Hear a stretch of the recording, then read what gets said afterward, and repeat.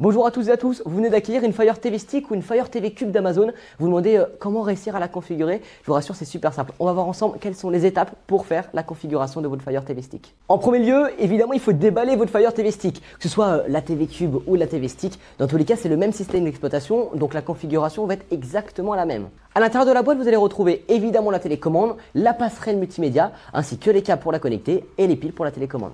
Une fois connecté au téléviseur, vous allez arriver sur cette page. Là, vous n'avez plus qu'à suivre les instructions pour faire la configuration de votre passerelle multimédia. Pensez bien en premier lieu de connecter la Fire Stick sur le port HDMI, de bien regarder quel numéro de port HDMI vous avez utilisé, ainsi que la connecter et l'alimenter directement sur la prise murale. Ensuite, sur votre téléviseur, sélectionnez le bon HDMI, 1, 2, 3, 4, peu importe.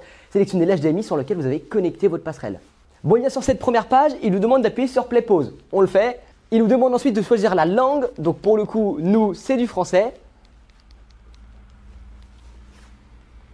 Ensuite, il se met à rechercher un réseau Wi-Fi. C'est une passerelle multimédia connectée. Donc évidemment, il lui faut soit un réseau 4G avec un partage de connexion, ou alors directement une box Wi-Fi à la maison. Une fois que vous êtes connecté au réseau, il va vous demander de vous connecter à votre compte Amazon. Soit vous en avez déjà un et vous rentrez votre adresse mail et votre mot de passe. Si jamais vous n'avez pas de compte Amazon, vous allez juste sur amazon.com et vous créez un compte pour l'occasion.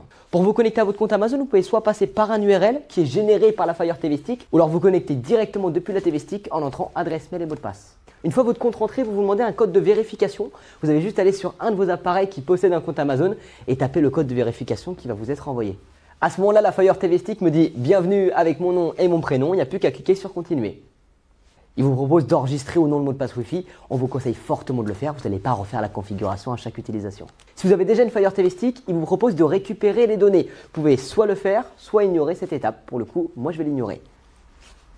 Vous avez alors la possibilité d'activer ou non un contrôle parental. Pour le coup, pareil, moi je vais l'ignorer. À ce moment-là, la Fire TV Stick se met en mode préparation. Il prépare la télécommande ainsi que le système et les applications de démarrage. Là, il me demande de cliquer sur le volume plus ainsi que sur le volume moins en même temps en pointant le téléviseur.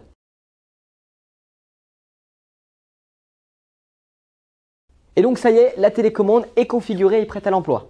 Ensuite, il vous présente les fonctions principales de la Fire TV. On fait j'ai compris. Vous avez juste ensuite à choisir votre profil utilisateur. Et ça y est, la Fire TV Stick est connectée. Cette configuration est valable sur le Fire TV Cube, Fire TV Stick et Fire TV Stick 4K. Une fois ceci fait, vous avez la télécommande en main et vous n'avez plus qu'à profiter de votre contenu préféré. J'espère que ces conseils vous seront utiles et que la configuration se sera bien passée. Si jamais vous avez euh, quelques soucis, c'est possible. Rendez-vous directement au magasin et un vendeur euh, se fera un plaisir de vous aider et de vous accompagner dans la configuration de votre passerelle multimédia. D'ici là, moi je vous dis euh, à très vite pour de nouveaux conseils boulanger.